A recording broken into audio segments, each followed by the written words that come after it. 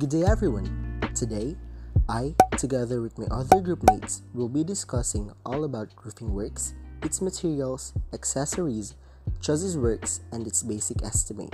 But before that, let us first know what roofing means. Roofing is defined as the top covering of a building, including all materials and construction necessary to support it on the walls of a building, providing protection against rain, snow, sunlight, extremes of temperature, and wind. We have three elements in the design of a roof. We have the construction, which is the method, the durability deals on the strength of the roof to withstand its form, and the material. The material of a roof may range from indigenous materials, just like grass, to aluminum sheet and precasted concrete. The shape of roofs differ greatly from region to region. The main factors which influence the shape of the roof are the climate and the materials available for roof structure and the outer covering. There are many variations in these types. Pitched roof, including gabled, hip, and skillion roof, make up the greatest number of domestic roofs. Some roofs follow organic shapes either by architectural design or because of flexible material such as thatch that has been used in the construction. Here are the basic roof types. Gable roof. A gable roof is the classic, most commonly occurring roof shape in those parts of the world with cold and temperate climates. They are classified into various types. We have open gable, box gable, and front gable. Simple hip roof. It is a type of roof where all four sides feature symmetrical slopes towards the walls, with no gables or vertical sides to the roof. They are also classified according to their designs.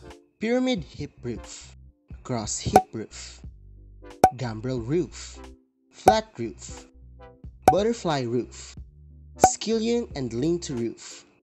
Knowing various roof types could help us determine material cost and most especially the estimate in making such design. But before we dig deeper to estimate, let us first discuss the basic roofing parts. Cutting a roof structure into a section, we could see how it looked like as the picture shown in the screen. We have the outer skin in the form of either sheet or tile. Roof battens or purlins, which is the horizontal structural member along the length of the roof. We have the rafter, which is a sloped structural member supporting the roof. The eaves are the lower border of a roof that overhangs the wall. Fascia is a straight board that runs along the lower edge of the roof. And a gutter or channel that runs around the perimeter of a roof and collects rainwater. Now, let's proceed to roofing materials. First is the corrugated metal roofing. Galvanized iron sheet is the most common material popularly known as GI sheet, either plain or corrugated. Plain sheet is used for roofing gutter, flashing, downspout, ridge hip, and valley roll. Its standard commercial size is 90 by 240 centimeters long. Corrugated galvanized iron sheet, on the other hand, is widely used for roofing and sidings, having a standard width of 80 centimeters with varying length from 150 to 360 centimeters. Its thickness is measured in terms of gauge number from 14 to 30. It's nice to know that as gauge number increases, the sheet becomes thinner Note that gauge 26 is extensively used for roofing and gauge 24 is specified for gutters and valley rolls. It is said that distinguishing thickness between gauges of GI sheet is difficult even with the aid of a caliper, and gauges miss thickness expressed in terms of hundredths of an inch. That is why the only way which one could be certain that he is buying the right thickness of a sheet is by weight measure. The table that we would be flashing on the screen was prepared to present the various weight of GI sheet according to its length and gauge number. On the leftmost column, you can see the varied gauge number available in the market, and the above row are the varied length in meters and feet. You can find this table on the third edition of Max Fajardo's Simplified Construction Estimate under Roofing Materials, page 204. Since GI sheet is the most common roofing material being widely used in construction, particularly on residential buildings, and its abundance in our market, This discussion will primarily focus on GI roofing estimate. Before learning the estimate pertaining to roofing materials, here the following important basic information that you should consider before knowing the required numbers of materials, particularly in corrugated GI sheets. First, we must verify the side lapping. There are two options to consider, 1.5 or 2.5.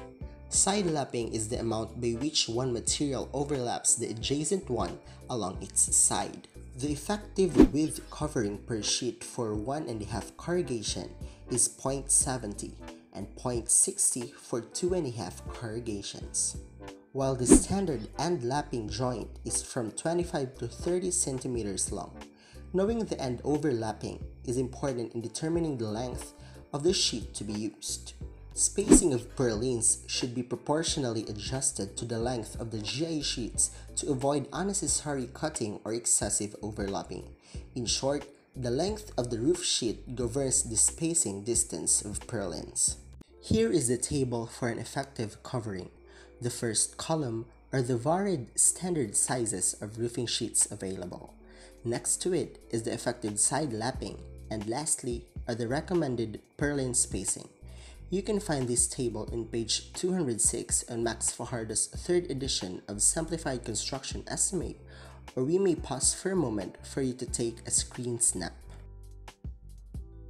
So since we already know the basic roofing considerations, let's proceed to the next, which is the estimate. I, with my other group mates, will be going to discuss estimates of GI roof and its accessories. There are 7 steps to solve an estimate of a GI roof. If you are interested to learn the basic steps, this is the right time for you to learn and listen. First, you need to determine the length of the purlin along the gutter line. Its distance is perpendicular with the roof direction. Next, suppose you already got the length you divide it by the effective width covering of one GI sheet using either 0.70 for 1.5 corrugations or 0.60 for 2.5 corrugation. The result will be the number of sheets for the entire row. Third is determine the length of the rafter or top chord. Choose the right combination of roofing sheets that will satisfy the rafter's length considering the 25 to 30 centimeters and lapping. Say you have 4.8 meters. You have a combination of 3 meters and 2.1 meters length of GA sheets. Fourth step is to multiply the result you get in step number 2 by each length of each sheet combination as found in step number 3. After determining the result, the next step is to determine the number of J nails, rivets, and washers in kilograms using the table flashed on the screen. The number of nails or rivets that will be used in a single roofing sheet can be determined using the table provided. For a 1.5 meters length of roofing sheets, there is an equivalent 40 numbers of nails or rivet, and so on and so forth. Next step is to take note that the number of plain anchor strap and lead washer is the same quantity of rivets. Lastly, is to find the number of plain GA sheets required for anchor strap with the aid of this table. For a 2 by 3 inch of purlins, 1 by 9 inch of GA strap must be used. For you to fully understand the roofing estimate, we will be showing you a sample problem. Suppose we are about to find the number of roofing sheets using 2.5 corrugations together with the nails needed based on the figure being shown in the screen. The first step is to find the length of purlins along the gutter line. So we have 18 meters to be divided by 0.60 since the problem requires 2.5 corrugations. Dividing 18 by 0.60 will be equal to 30. So for the entire row, we need 30 pieces of corrugated sheets. Next is to measure the length of the rafter which is 6 meters and find the right combination including the 30 centimeters and lapping. The table shown on the screen will guide us to identify the right combination of GA sheet on a given rafter length. Say for 6 meters length of rafter, we utilize 3.6 and 2.7 meters roof sheet. You might wonder why we chose 3.6 and 2.7. Simply because if we combine 3.6 and 2.7, we get 6.3. Now, the excess length of the rafter, which is 30 centimeters, is intended for the end lapping of the roof sheets. Next step is to multiply each sheet length by the result we obtain from step number 1. So we have 30 pieces of 3.6 and 30 pieces of 2.7 meters corrugated roof sheets. Take note that this is only the one side of the roof, so for the other side, we double the quantity of the roof sheets.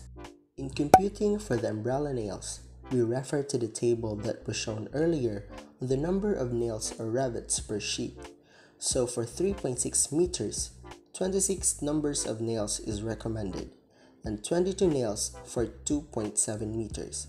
So we multiply 60 pieces of 3.6 we got 1560 pieces of nails and 60 pieces of 2.7 equals to 1320 pieces.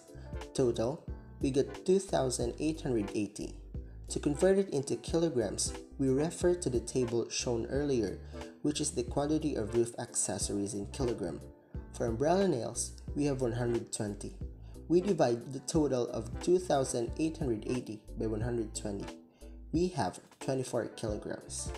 After you completed the total materials, it is very important to finalize the estimated materials by making a summary, so you could use it in multiplying the cost of each material depending on the supplier you have. So from the problem, we obtain the following data. 60 pieces 3.6 meters corrugated roof sheets 60 pieces 2.7 meters corrugated roof sheets, and 24 kilograms or approximately 25 kilograms of nails. Let us move forward to other common roofing materials. Beginning we have asbestos roofing. Unlike GI roofing, where accessories made from gutter down to the smallest anchor strap are made out from standard size, estimating asbestos roofing is much simpler because all roof accessories and parts to be used are all factorily made, ready for installation. There are different kinds of asbestos roofing. We have the standard corrugated sheet, 4V corrugated sheets, Placa Romana, Canaletas, Tencor corrugated sheet, and Ardex lightweight corrugated sheet. Remembering the estimate of the product will surely help us since it is said that roofing materials and accessories for asbestos roofing are already made, we will be flashing on the screen the technical data for each type that will be helpful for our estimate computation. For the corrugated sheets, 4V corrugated asbestos sheet, Tencor, Canaletas, Ardex, Let's proceed to Colorbond clip loop. The table shown is the clip loop technical data. For the Banawi horizontal metal tile, here is its cross-section figure and its technical data. Let us continue to Marcelo roofing system is type of roofing material that has width of 1.14 meter and length of 1.11 meter. It has an effective width coverage of 0.95 meter and effective area coverage per sheet of 0.92 square meter. The Colorbond Custom Orb is a lightweight yet strong roof and walling material. Each piece of Colorbond Custom Orb has normal width of 0.86 meter with an effective coverage of 0.76 meter. It has a length of 1.35 meter and are available in a longer length through special order.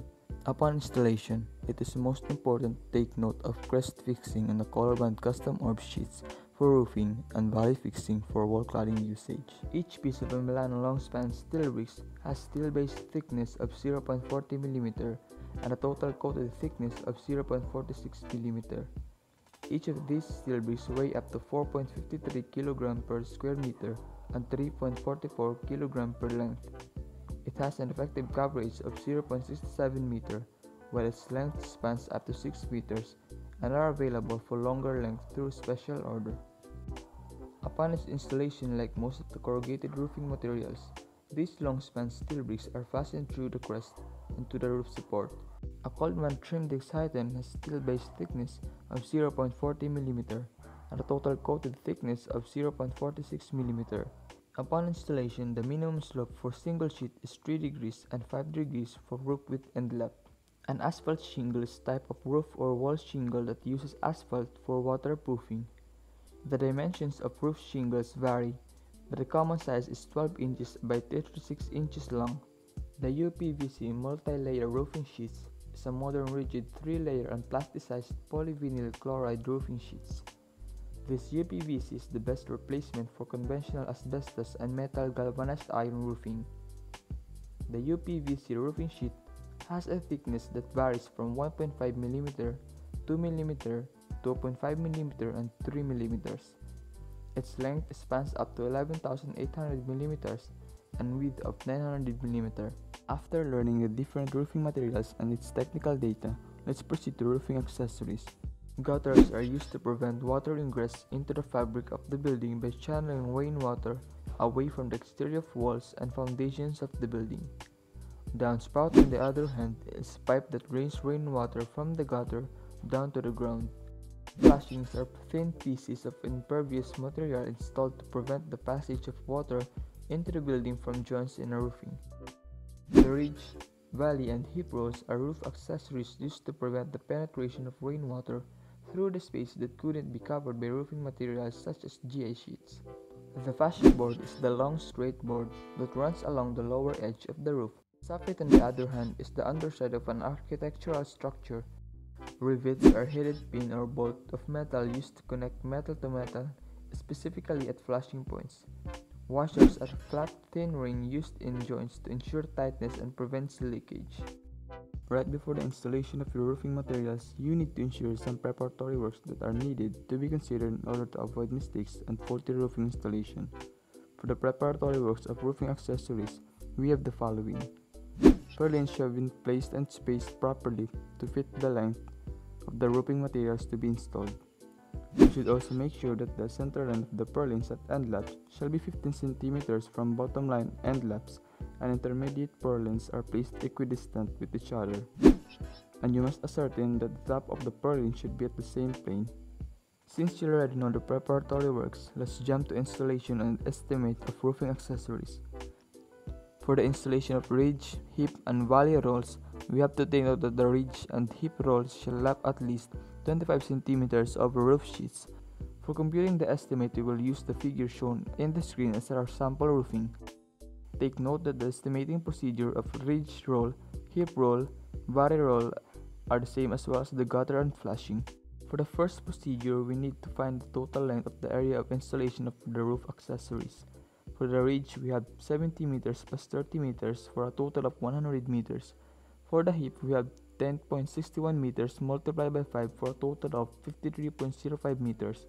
For the valley, we have 10.61 meters. For the second procedure, we have to divide the total length from the first procedure by the effective length of the roof accessory to determine the total number of needed roof accessory. Take note that the effective length of these roofing accessories are different. Refer to the table shown for their effective length data. For the third procedure, we need to determine the total width of the roof accessory. As shown, the width of ridge, hip, and valley roll are the same which is 0.45 meter. For the fourth procedure, we need to divide the standard width of a plain GI sheet, which is 0.90 meter, by the width of the roof accessory. By doing so, we can determine the number of the roof accessory that can be made from every piece of GI sheet. As we can see, the ridge, hip, and valley rolls have the same recommended width, and for that, we just need to divide 0.90 by 0.45 and the result is 2 pieces. For the last procedure, we need to divide the result in procedure 2 by the result of procedure 4. For the ridge, we divide 46 by 2, the result is 23 pieces. For the hip, we divide 24 by 2, the result is 12 pieces. For the valley, we divide 5 by 2, the result is 2.5 pieces. Therefore, we need 23 plain GI sheets for the ridge roll, 12 plain GI sheets for the hip rolls, and 2 and a half plain GI sheets for the valley roll. For the estimate of the flashing, it is the same procedure from the estimate of ridge, hip, and valley rolls. So first, we find the total length of the flashing. We have 4.5 multiplied by 4, the result is 18 meter. Second, we divide the length with the effective length of a flashing which is 2.30 meter as indicated in the table. We have 18 divided by 2.30, the result is 5.65 or we say 6 pieces of flashing. Third is to determine the total width of a flashing as shown in the screen, so the total is 0.45 meter. Fourth, we divided standard width of one plain GI sheet which is 0.90 meter by 0.45 meter and we have two flashing that can be made from one GI sheet. Last is to divide the result of procedure 2 by the result of procedure 4 so we have 6 divided by 2 the result is 3 therefore our sample roofing will require 3 plain GI sheet for the flashing. The procedure for the estimate of gutter is also the same as flashing and ridge rolls divide the number of required gutter which is 9 by 2 therefore the required plain GI sheet for the gutter are 4 and a half sheets. Let's proceed to roof drainage. The roof drainage is designed to flush water, debris, and any other type of precipitation off the roof and into appropriate areas. Drain pipe. It is a pipe that carries rainwater from the roof of a building to the ground. Overflow pipe. It is mainly used for emergency secondary drainage system if the primary roof drainage is clogged.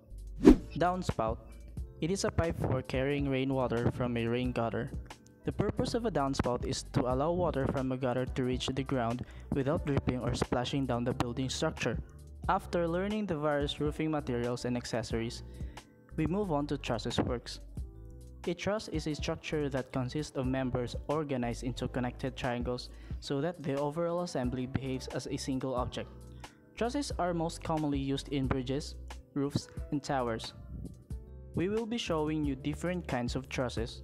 King post truss, Queen post truss, Howe truss, Pratt truss, Fan truss, North light roof truss quadrangular roof truss, parallel chord roof truss, raised heel roof truss, and scissor roof truss. And now here are the truss materials. Timber roof truss. Wooden trusses are generally cheaper than steel trusses. However, they don't last as long. Timber is a natural material. It cannot stand up to the elements as well as steel. Timber trusses may warp and bow over time which can cause structural damage to the rest of the building. Wood is also susceptible to rot and insect infestations. Timber trusses are also more likely than steel to be damaged in wild weather conditions. Despite this risk, many opt for timber frames because they seem more economical. Steel roof truss. Steel roof trusses are usually more expensive than wood trusses, but you can expect them to last a lot longer. Chemical treatments aren't needed to maintain the frame and insect infestations aren't a risk. They are also lightweight, making them easier and quicker to transport and install. What's more, steel frames can be recycled easily. Steel is a good choice for the environmentally conscious home or a business owner. Although steel frame roof trusses require more skill to install, an experienced team should be able to fit your steel trusses quickly and efficiently. For the estimate of the roof truss, we will use a sample truss of a gable roof that requires three whole trusses for its roofing. The figure in the screen shows the measurement of the parts of the truss. For the first procedure, we have to get the total length of the parts of the truss and multiply it by 3, which is the number of trusses required. For the top chords, we have 4.5 plus 4.5 equals to 9. Multiplied by 3, the result is 27 meters of total length for the top chords of the trusses. For the bottom chord, we have 6 multiplied by 3. The result is 18 meters of total length for the bottom chords of the trusses. For the web members, we have one piece of 1.5 meter, two pieces of 1.5 meter, two pieces of 1 meter, two pieces of 0.50 meter, and two pieces of 1.2 meter web members for a total of 9.9 or we say 10 meters multiplied by 3 the result is 30 meters total length for the web members of the trusses. Note that we rounded off our lengths. For the second procedure, we have to add all of the total lengths from the first procedure if we will be using a 6mm angle bars for our trusses. We have 27 plus 18 plus 30. The result is 75 meters of total length of angle bar needed for the three truss of the roofing. The last procedure is to divide the total length from the second procedure by 6 meters, which is the commercial length of a 6 mm bar, angle bar here in the Philippines. We have 75 divided by 6, the result is 12.5, therefore we need 13 pieces of 6 mm angle bars for the truss of our roofing. To sum up today's discussion, learning roof and trusses works are essential for us in determining various roof types that will be used in our designs.